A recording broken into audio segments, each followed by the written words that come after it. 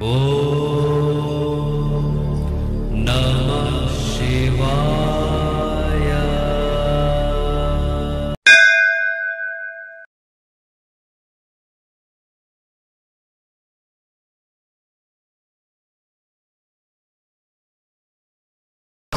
வணக்கம். நான் உங்கள் தம்புரான் ரிஷபானந்தர். இரண்டு மூணு ரெண்டாயிரத்தி இருபத்தி நான்கு அருமையான சனிக்கிழமை. சோபகிருது வருடம் மாசி மாதம். பத்தொம்போதாம் நாள். சனிக்கிழமை காலையில் சனி முறையில் பெருமாளை போய் நல்லபடியாக துளசி மாலை செந்தாமரை வாங்கிட்டு போய் அவரை அந்த செந்தாமரை கண்ணனை நீங்கள் திருச்சி போனீங்கன்னா செந்தாமரை கண்ணன்னே ஒரு கோயில் இருக்குது பேர் பாருங்கள் எவ்வளோ அழகாக வச்சுருக்காங்க. செந்தாமரை கண்ணன். அந்த கண்கள் வந்து செந்தாமரை போல் அழகாக இருக்குதாம்மா அது வந்து ரொம்ப செந்தாமரை எவ்வளோ அழகாக இருக்குமோ அந்த மாதிரி செந்தாமரை கண்ணன் அப்படின்னு பேர். புண்டரீகாட்ச பெருமாள் அப்படின்னு சொல்லி சொல்லுவாங்க. புண்டரீகம் அப்படின்னா செந்தாமரைன்னு அர்த்தம். அதனால தான் அவருக்கு தமிழில் வந்து செந்தாமரை கண்ணனே பேர். அந்த செந்தாமரை கண்ணனை அந்த அழகனை நீங்கள் வந்து சனிக்கிழமை அன்னைக்கு காலையில் போய் செந்தாமரை மலர் வாங்கிட்டு போய் வைத்து சாயம் முட்டுவாங்க வாழ்க்கை மிக மிக வளமாக மகிழ்ச்சியாக இருக்கும். வாங்க திதி யோகம் கரணம் நாள் நட்சத்திரம் என்ன சொல்கிறது? பஞ்சாங்கம் பார்ப்போம். அதிகாலை நாலு இருபத்தி ரெண்டு வரைக்கும் சஷ்டி அதன் பின்பு சப்தமி. காலை பதினொன்று பதினாலு வரைக்கும் விசாகம் அதன் பின்பு அனுஷம். விசாகத்துக்கு மகம் இருபத்தி ரெண்டாவது நட்சத்திரம் அனுஷத்துக்கு பூரம் இருபத்தி ரெண்டாவது நட்சத்திரம். பிற்பகல் ரெண்டு பதினஞ்சு வரைக்கும் வியாக்காதம் நாம் யோகம் இருக்கிறது. யோகாதிபதி நட்சத்திரம் பூராடம் யோகாதிபதி சுக்கரன் அவயோக நட்சத்திரம் புனர்பூசம் அவயோகி குரு.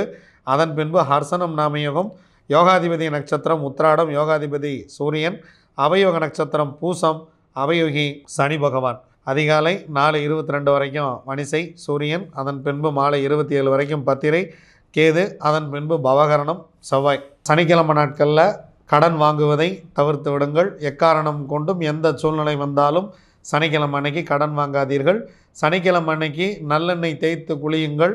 நல்லெண்ணெய் தேய்ச்சிங்கன்னா சனி பகவானும் நல்லெண்ணெயும் அப்படின்னு ஒரு டாப்பிக்கே நம்ம எழுதலாம். அந்த அளவுக்கு ஏன் சனிக்கிழமை அன்னைக்கு நம்மளை எண்ணெய் தேய்ச்சி குளிக்க சொன்னாங்க அப்படின்னா நல்லெண்ணெய் எள்ளிலிருந்து எடுக்கப்படுகிறது. எல் சனி பகவான். நல்லெண்ணெய் சனி பகவான். நீங்கள் நம்மக்கிட்ட ஜோடம் பார்த்தவங்களுக்கு தெரியும். நம்ம சனி பகவான் கோயில் கொடுத்தா நல்லெண்ணெயில் போய் தீபம் போட சொல்லுவோம் காரணம் என்னென்னா சனி பகவானுக்கு நல்லெண்ணெய் வேலை செய்யும். அதனால தான் சனிக்கிழமை அன்னைக்கு நல்லெண்ணெய் தேய்ச்சி குளிக்க சொன்னாங்க. சனி பகவானின் ஆற்றலை ஈர்ப்பதற்காகவும் கடனிலிருந்து தப்பித்துக் கொள்வதற்கும் உடலில் இருக்கக்கூடிய கிருமிகளை சனி சுத்தம் செய்வர். சனி தானே சுத்தம் பண்ணுறது அதனால தான் நம்ம துப்புரவு தொழிலாளர்களுக்கெல்லாம் தேடி போய் ஓடி போய் கொடுக்குறோம். ஏன்னா அவங்க தானே நாட்டை சுத்தப்படுத்துகிறாங்க ஸோ சனி சுத்தம் செய்யக்கூடிய கிரகம் சனிக்கிழமை அன்னைக்கு நீங்கள் உச்சந்தலையிலேருந்து உள்ளங்கால் வரைக்கும் எண்ணெய் வைத்து குளித்தீங்க அப்படின்னா உடம்புல இருக்கக்கூடிய சூடு உடம்புல இருக்கக்கூடிய இந்த இறந்து போன செல்கள் உடம்பு உடம்புல இருக்கக்கூடிய தேவையில்லாத விஷயங்களெல்லாம் வெளியில் போயிடும்.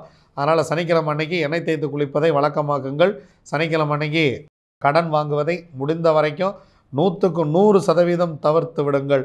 வாங்க இன்றைய பஞ்சபக்ஷி ராசி பலன் என்ன சொல்கிறது பார்ப்போம்.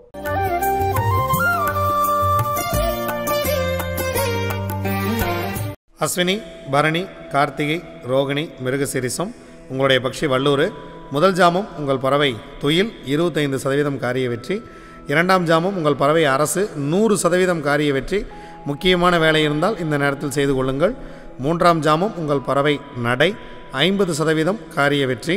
நான்காம் ஜாமம் உங்கள் பறவை ஊன் எழுபத்தைந்து சதவீதம் காரிய வெற்றி. ஐந்தாம் ஜாமம் ஆறாம் ஜாமம் இரண்டுமே சிறப்பாக இல்லை. அதனால் முக்கியமான வேலைகள் இருந்தால் பிறகு பார்த்து கொள்ளலாம். ஏழாம் ஜாமம் உங்கள் பறவை அரசு வேலையில் இருக்கிறது. நூறு சதவீதம் காரிய வெற்றி. எட்டாம் ஜாமம் உங்கள் பறவை ஊன். எழுபத்தைந்து சதவீதம் காரிய வெற்றி. ஒன்பதாம் ஜாமம் உங்கள் பறவை துயில். உங்களுக்கு இருபத்தைந்து சதவீதம் மட்டுமே காரிய வெற்றியை தரும். நீங்கள் எதாவது முக்கியமான வேலை கிளம்புறீங்க அப்படின்னா பிரம்ம முகூர்த்தத்தில் கூட செஞ்சுக்கலாம். ஏன்னா பிரம்ம முகூர்த்தம் ஐம்பது சதவீதம் வெற்றி நடையில் இருக்குது அதற்கு முன்பாக நீங்கள் புதிய விஷயங்களை துவங்க வேண்டாம். புதுசாக ஒரு ட்ராவலிங் போகிறோம் அப்படின்னா அதை வந்து துவங்க வேண்டாம். திருவாதிரை புனர்பூசம் பூசம் ஆயில்யம் மகம் பூரம் உங்களுடைய பக்ஷி. ஆந்தை முதல் ஜாமம் உங்கள் பறவை நடையில் இருக்கிறது. ஐம்பது சதவீதம் காரிய வெற்றி. இரண்டாம் ஜாமம் உங்கள் பறவை ஊன் எழுபத்தைந்து சதவீதம் காரிய வெற்றி. மூன்றாம் ஜாமம் உங்கள் பறவை சிறப்பாக இல்லை. நான்காம் ஜாமம் உங்கள் பறவை துயில் இருபத்தைந்து சதவீதம் மட்டுமே காரிய வெற்றி. முக்கியமான வேலை இருந்தால் அடுத்த ஜாமத்தில் பார்த்து கொள்ளலாம். ஐந்தாம் ஜாமம் உங்கள் பறவை சிறப்பாக இருக்கிறது. ஒரு பொன்னான மாலை வேலை. இந்த நேரத்தை பயன்படுத்தி நீங்கள் முக்கியமான வேலைகள் எதுவும் இருந்தால் செய்து கொள்ளலாம். உங்களுக்கு ஆறாம் ஜாமம் நடை ஐம்பது சதவீதம் காரிய வெற்றி ஏழாம் சாமம் உங்களுக்கு சிறப்பாக இல்லை.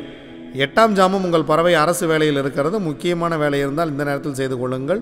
ஒன்பதாம் ஜாமம் உங்கள் பறவை ஊன் எழுபத்தைந்து சதவீதம் காரிய வெற்றி. பத்தாம் ஜாமம் உங்கள் பறவை துயில் இருபத்தைந்து சதவீதம் மட்டுமே காரிய வெற்றி. பிரம்ம முகூர்த்தத்தில் முக்கியமான வேலை எதையும் துவங்க வேண்டாம். ஏன்னா இருபத்தைந்து சதவீதம் மட்டுமே காரிய வெற்றி. பறவை துயிலில் இருக்கிறது முக்கியமான வேலை இருந்தால் ஞாயிற்றுக்கிழமை காலை பார்த்து கொள்ளலாம். உத்திரம் அஸ்தம் சித்திரை சுவாதி விசாகம் உங்களுடைய பறவை காகம் முதல் ஜாமம் உங்களுக்கு சிறப்பாக இல்லை. அதனால் காலையில் நேரத்தில் முக்கியமான விஷயங்களெல்லாம் நீங்கள் கொஞ்சம் தள்ளி போட்டுறது பெட்டர் இரண்டாம் ஜாமம் துயில் அதனால் முதல் இரண்டு ஜாமங்களும் முக்கியமான வேலைகளை தள்ளி போட்டுட்டு மூன்றாம் ஜாமம் சிறப்பாக இருக்கிறது. உங்கள் பறவை அரசு வேலையில் இருக்கிறது. நூறு சதவீதம் காரிய வெற்றி. நான்காம் ஜாமம் நடை ஐம்பது சதவீதம் காரிய வெற்றி. ஐந்தாம் ஜாமம் ஊன் எழுபத்தைந்து சதவீதம் காரிய வெற்றி. ஆறாம் ஜாமம் துயில் உங்கள் பறவை இருபத்தைந்து சதவீதம் மட்டுமே வெற்றியை கொடுக்கும். ஏழாம் ஜாமம் உங்கள் பறவை நடை ஐம்பது சதவீதம் மட்டுமே காரிய வெற்றியை கொடுக்கும். எட்டாம் ஜாமம் உங்கள் பறவை சிறப்பாக இல்லை. ஒன்பதாம் ஜாமம் உங்கள் பறவை சிறப்பாக இருக்கிறது அரசு வேலை செய்ய இருக்கிறது. முக்கியமான வேலைகள் இருந்தால் இந்த நேரத்தில் தூங்குங்கள் பிரம்ம முகூர்த்தத்தில் நல்ல ஒரு வெற்றியை கொடுக்கும். பத்தாம் ஜாமம் உங்கள் பறவை ஊன் எழுபத்தைந்து சதவீதம் காரிய வெற்றி. ஸோ முக்கியமான வேலை இருக்குது அப்படின்னா இந்த நேரத்தை நீங்கள் தாராளமாக பயன்படுத்தலாம். மிகப்பெரிய வெற்றியே கிடைக்கும். அனுஷம் கேட்டை மூலம் பூராடம் உத்திராடம் உங்களுடைய பக்ஷி கோழி. ஸோ கோழி படுபக்ஷி. சனிக்கிழமை அன்னைக்கு கோழி வந்து முழுமையாகவே படுபட்சியாக இருக்கிறது. அதனால் முக்கியமான வேலைகள் ஏதேனும் இருந்தால் ஞாயிற்றுக்கிழமை பார்த்து கொள்ளலாம். அன்றாட வேலைகளை மட்டும் சனிக்கிழமை செய்யுங்க. ரெகுலராக செஞ்சிட்ருக்கிற வேலையை செய்யுங்க. புதுசாக ஒன்று துவங்கணும். புதுசாக ஒரு நபரை போய் பார்க்கணும் சந்திக்கணும் அப்படிங்கிறத மட்டும் தவிர்த்து விடுங்கள். திருவோணம் அவிட்டம் சதயம் பூரட்டாதி உத்திரட்டாதி ரேவதி உங்களுடைய பக்ஷி மயில். முதல் ஜாமம் ஊன் எழுபத்தைந்து சதவீதம் காரிய வெற்றி. இரண்டாம் ஜாமம் சிறப்பாக இல்லை. மூன்றாம் ஜாமம் துயில் இருபத்தைந்து சதவீதம் வெற்றி. அதனால் இரண்டாம் ஜாமம் மூன்றாம் ஜாமம் ரெண்டையுமே தவிர்த்து விடுவது மிக மிக சிறப்பு. நான்காம் ஜாமம் மதியம் சிறப்பாக இருக்கிறது. அரசு வேலை செய்கிறது பறவை நூறு சதவீதம் காரிய வெற்றி. ஐந்தாம் ஜாமம் உங்கள் பறவை நடை. ஐம்பது சதவீதம் காரிய வெற்றி. ஆறாம் ஜாமம் மாலை வேலை ரொம்ப சிறப்பாக இருக்கிறது. நூறு சதவீதம் காரிய வெற்றியை கொடுத்துவிடும். ஏழாம் ஜாமம் ஊன் எழுபத்தைந்து சதவீதம் வெற்றி. எட்டாம் ஜாமம் உங்கள் பறவை துயிலில் இருக்கிறது.